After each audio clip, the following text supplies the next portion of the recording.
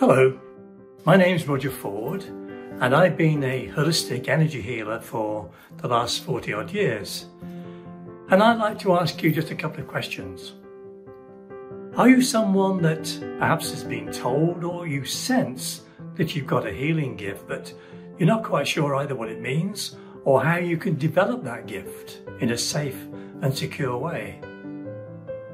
Are you someone that can perhaps walk into an empty room and just feel the energy in that room? You can maybe sense that there's been a lot of happiness, a lot of laughter, or maybe you can sense that there's perhaps been anger in that room.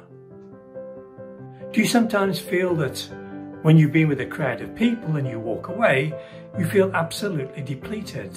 You've really lost all of your energy, but you're not sure how to protect your energy field.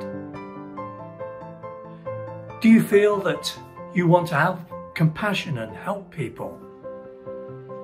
Do you believe that there's perhaps a power greater than us? Well, if you can answer yes to any of those questions, then there's no doubt about it, you already have a healing gift. And we can help you develop that gift into something really powerful, both for your own self healing and to be able to help others.